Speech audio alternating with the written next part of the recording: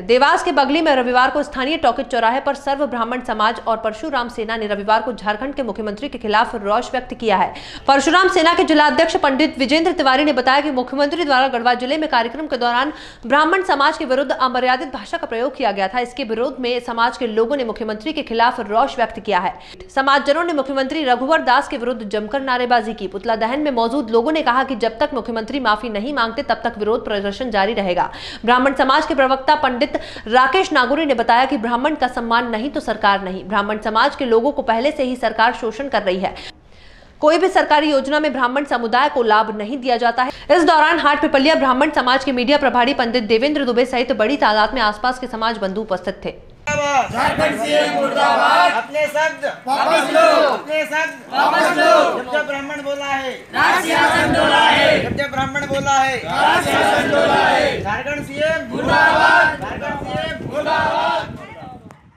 आज सर्व ब्राह्मण समाज बागली द्वारा रघुवर दास झारखंड के मुख्यमंत्री के दिए गए ब्राह्मण समाज के विरुद्ध बयान के लिए हम उनकी कड़ी निंदा करते हैं। विरोध प्रदर्शन हमारा तब तक जारी रहेगा जब तक कि झारखंड के पूर्व मुख्य मुख्यमंत्री अपना बयान वापस नहीं ले लेते।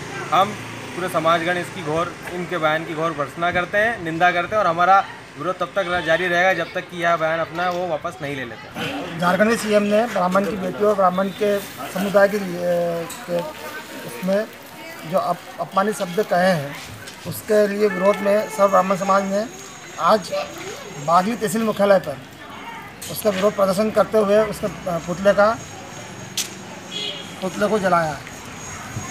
क्या मांग है आपकी मतलब?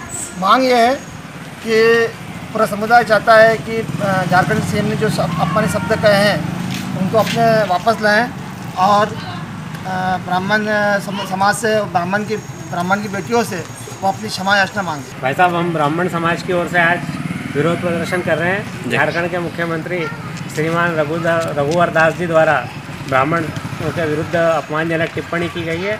हम ये मांग करते हैं कि वो इस प्रकार की अमर्यादित असंवैधानिक भाषा का प्रयोग ना करें अपने शब्द वापस लें और ब्राह्मण समाज की भावनाओं को आहत करने के लिए तुरंत क्षमा मांगे।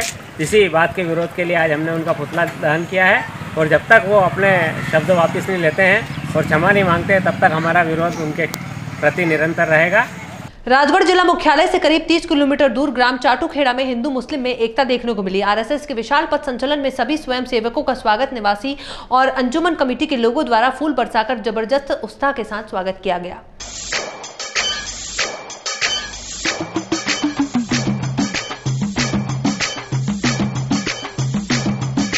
ਨੱਚ